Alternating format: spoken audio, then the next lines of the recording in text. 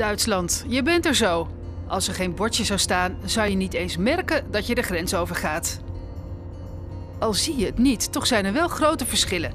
Hier in Duitsland is bijvoorbeeld nauwelijks werkloosheid en zitten bedrijven te springen om goed personeel. En laten er nou in het grensgebied van Overijssel veel mensen op zoek zijn naar werk. Bijvoorbeeld kok Enver Sadikovic, die afgelopen zomer zijn eigen bedrijf moest beëindigen. Ik ben al lang kok. Heel lang. Heb ik hier in Hardenberg voor, eigen, voor mijzelf gewerkt. Tot nu. En eh, ook werk verricht in Nederlandse restaurants, Duitse, een beetje overal. Sinds een paar weken werkt hij in een Duits restaurant in Neuenhausen, zo'n 20 kilometer over de grens. In het begin was het een beetje moeilijk. Gewoon langzaam aanpassen en, uh, en mijn taak was om die keuken een beetje te verbeteren, een richtlijn op te zetten. Maar tot nu gaat het helemaal goed. En uh, bepaalde dingen moet ik ook mezelf een beetje verbeteren qua Duitse taal en uh, snelle integratie. En dat zijn gewoon een details. Maar tot nu bevalt me helemaal goed. En Ver is niet de enige in Hardenberg die werkloos is geraakt de afgelopen jaren. Nogal wat bedrijven zijn over de kop gegaan. Het is lastig voor de gemeente om iedereen aan passend werk te helpen. Hardenberg wijst werkzoekenden dan ook graag op de mogelijkheden over de grens.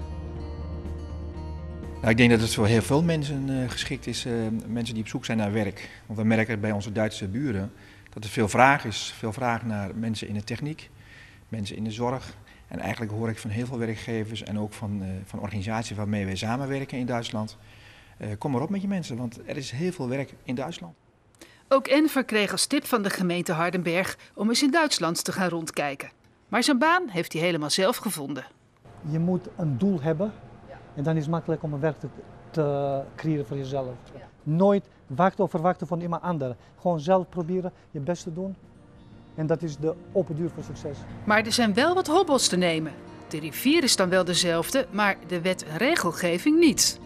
Hoe zit het bijvoorbeeld met verzekeringen, belasting of pensioensopbouw? De gemeente Hardenberg ondersteunt inwoners hierbij.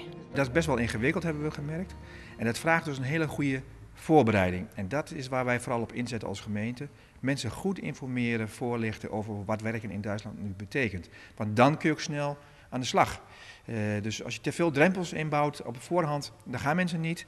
Wij zetten in op die informatie en voorlichting. En natuurlijk op hele andere activiteiten, zoals een, een banenbeurs die we hebben georganiseerd.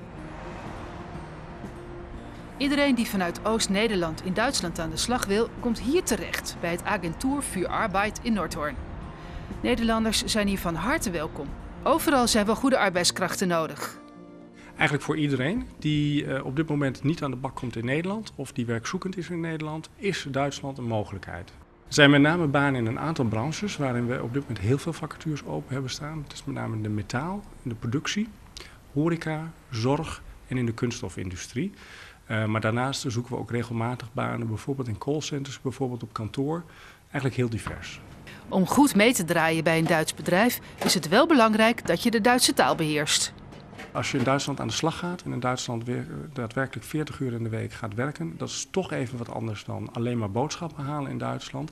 Je moet toch de begrippen wat meer kennen, je moet de cultuur misschien wat meer kennen. Um, dus ja, een basiskennis van de Duitse taal moet voorhanden zijn en dat gaat wel iets uh, dieper dan uh, weten uh, wat je moet, moet inkopen, zeg maar. Je moet altijd aanpassen, proberen jezelf te verbeteren en je best te doen. En dat is, dat is mijn advies. De samenwerking tussen het UWV en het Agentur für Arbeit loopt nu een klein jaar. 165 mensen zijn in die tijd aan een baan over de grens geholpen en bijna altijd met succes. Maar s'avonds gaan ze allemaal gewoon weer terug naar huis. Ik vind wel Duitsland prima, alles, maar ik ga voorlopig Hardenberg niet verlaten. Wonen in Hardenberg, werken in Duitsland. Perfect.